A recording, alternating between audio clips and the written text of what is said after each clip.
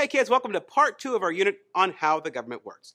Last time we talked about the Articles of Confederation and why they failed. This time we're talking about how the Constitution was created and those founding fathers, how they're really just a bunch of problem solvers. So get out your lightsaber and get ready to use the Force because today you are becoming my Padawan learner. Don't worry, I'm not your father.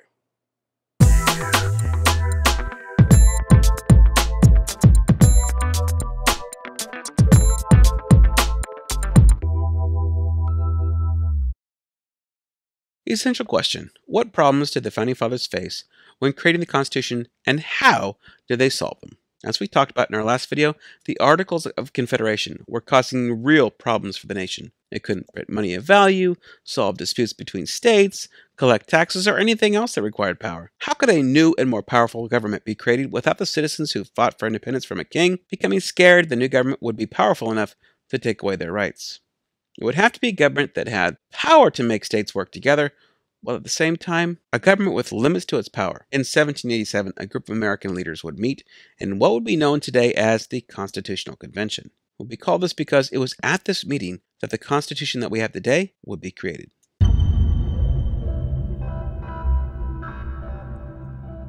When the convention starts, two groups bring plans for a new government. One plan represents the desires of the large states. This plan was introduced by Edmund Randolph from Virginia and would be known as the Virginia Plan. The second plan introduced would represent the desires of the small states and was introduced by William Paterson of New Jersey and would be called the New Jersey Plan. This seems like a great place for a compare and contrast. Let's talk about what these two groups had in common first. Well, first of all, they both separated powers into three groups so that no one person or small group would have all the power. One group would be called the legislature.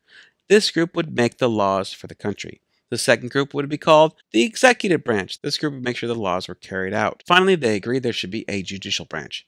This group would make sure that the laws were carried out fairly. Now remember, under the Articles of Confederation, there was no executive or judicial branch, so both groups agreed there were some major changes to be made. The Virginia plan called for a bicameral legislature. This means that the lawmaking body was made up of two different groups of people. They also believed that large states should have more votes than small states. So the bigger the state, the more powerful it is. And when I say bigger, I mean by population. They believe that the House of Representatives should be voted for directly by the people. And they believe that members of the Senate should be elected by the House, the first group.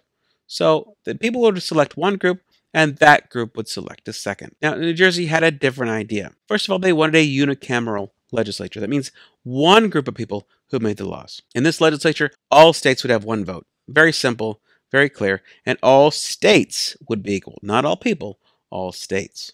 This legislature would be appointed by the state legislatures. That means that the state governments would decide who would represent them in the national legislature. This meant that no group would be voted for directly by the people. And this is a big difference between the Virginia and New Jersey plans. They both wanted to create a government with limited power. As you can see, both groups came with some good ideas and some not so good ideas for how to create a government with limited power. Both plans took the power and spread it out over three different groups of people.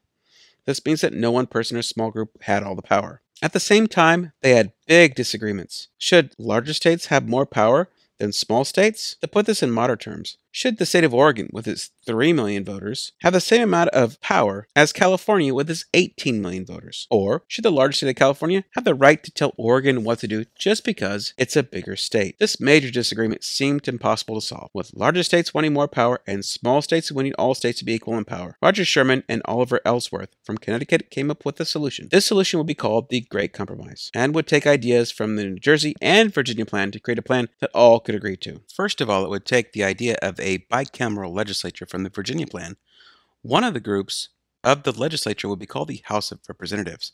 This group would be elected directly by the people, and larger states would get more representatives and thus more power than small states. The second group would be called the Senate, which would make small states equal to large states, with all states getting two votes. Instead of being elected by the people, the senators would be appointed by the state governments. This would be changed when the 17th Amendment in the early 1900s would require direct elections of senators like the representatives in the House. The last part of the compromise stated that all bills or proposed laws that deal with raising money, aka taxes, have to start in the House and not the Senate. Now, altogether, this compromise addresses the desires of the large states to have more power as they are given more votes in the House, and the desires of the small states to not be told what to do by the large states. Wow, what a plan!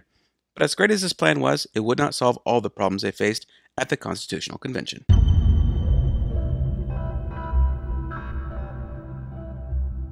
Even though the Civil War wouldn't happen for another 73 years. Slavery was already dividing the United States into the North and the South. Countries around Europe and the rest of the world were recognizing that slavery was evil and outlawing the practice within their borders. In America, however, slavery was being used in the South to create huge amounts of wealth for the plantation owners. Southern slaveholders saw slavery as a practice unique to their way of life and had no interest in giving it up. In the North, however, there were many wanting to outlaw the practice. At the convention, delegates from the North suggested this was the perfect time to forbid importing slaves from Africa.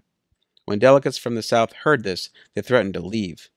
The delegates from the South, many of which were slaveholders themselves, wanted to insert into the Constitution a provision stating that the government would never be allowed to outlaw or tax the international slave trade. Delegates from the North would never agree to that, so a compromise had to be made. The compromise would be a 20 year ban on any taxes or laws limiting the slave trade. But slavery was also a problem when deciding whether slaves would count as population, when deciding on how many votes southern states would get in the House of Representatives. Remember, in the House, larger states had more votes than small states, and this was based on population. Northern delegates made the point that slaves were legally considered property, and since they didn't have the rights of legal citizens, they should not be counted as population.